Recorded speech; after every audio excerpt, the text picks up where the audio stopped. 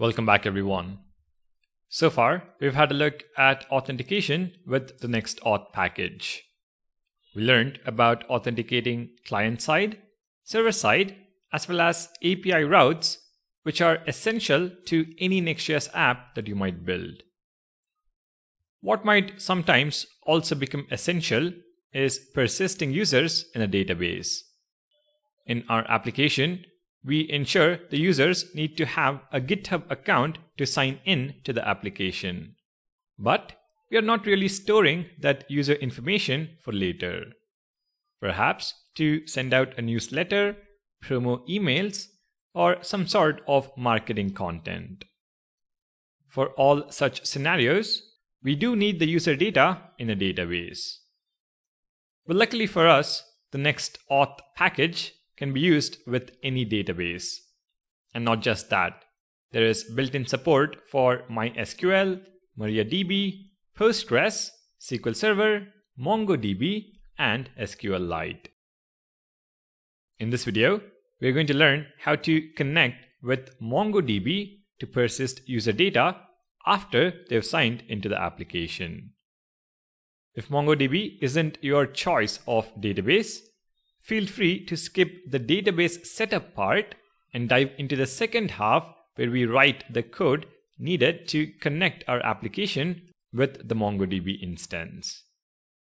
So for our first part, let's set up a MongoDB cluster that we can connect to. To do that, in Google, type MongoDB Atlas and click on the first link. Sign up with either Google or an email address. I already have an account, so I'm going to sign in. The process is pretty straightforward, but let me quickly walk you through the steps. After signing up, you need to accept the terms and conditions. Then enter your organization name, a project name, and your preferred language. You can also skip that page if you wish to by clicking on a button at the bottom of the screen. Now you might see a different page to mine, but now I'm going to click on Build a Database. Here, I'm going to select the free tier and click on Create. You'll need to pick a provider and a region. You can leave the rest of the page as it is and click on Create Cluster. Now this will take a few minutes.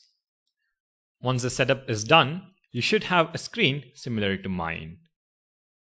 Once the cluster is created, we need to add a new database user. So on the side nav, click on Database Access and then add new database user.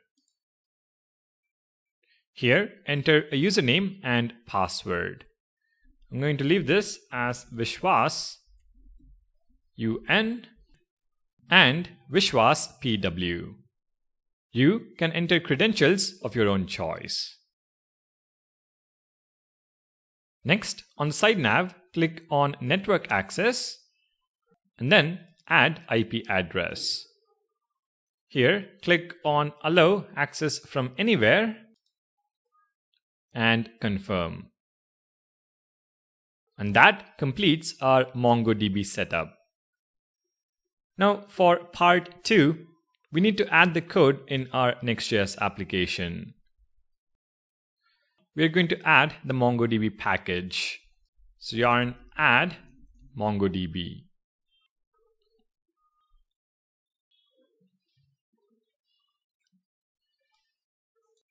Next, we're going to add the MongoDB related configuration in our .env.local file. First, we have the username and password. So db underscore user is equal to vishwas un and db underscore password is equal to vishwas pw. Next, we need the connection string. So go to databases and click on the connect button. Here, select Connect your application and copy the URL. Back in VS Code, db underscore URL is equal to paste the connection string. In the connection string, we need to use the variables we have defined above. So instead of Vishwas UN, dollar db underscore user, and instead of password, dollar db underscore password.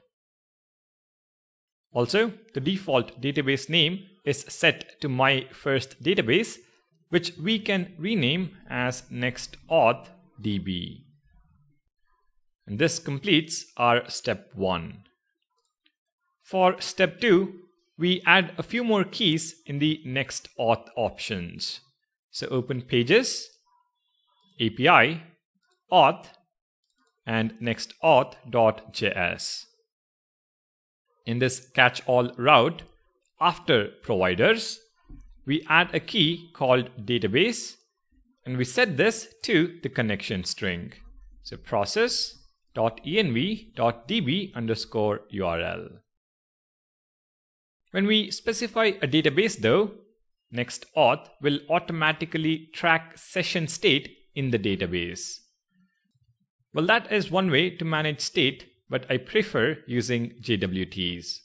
So we specify another key, session, which is an object, and we set JWT to true.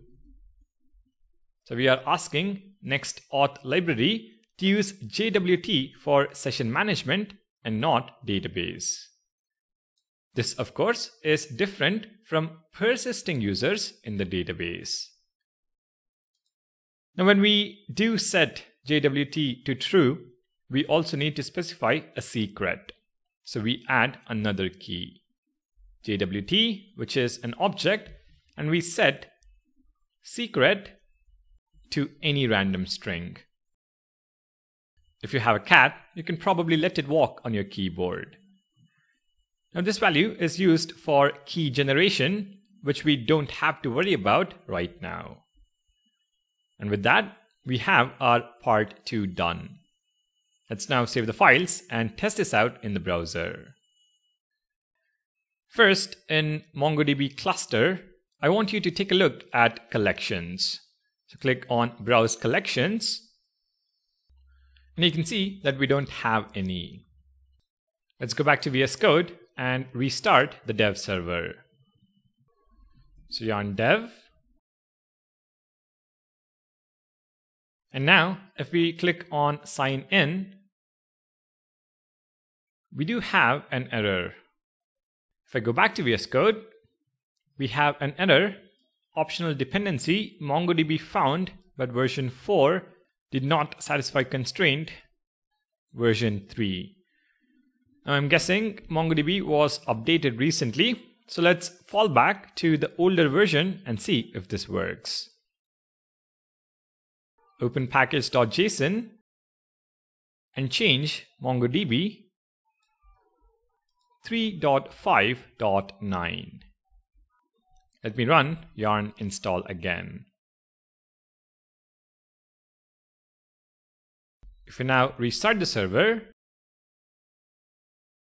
head back to the home page. And click on sign in.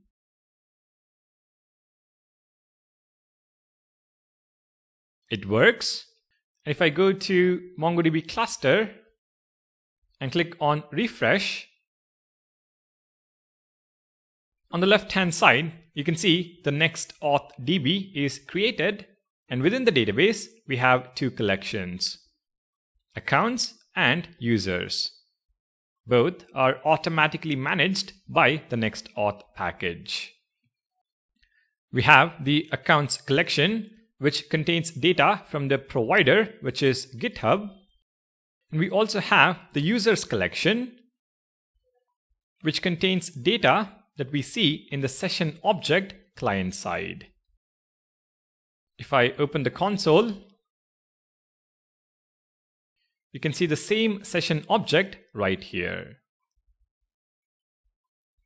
So we have successfully persisted user data, session information, as well as provider information.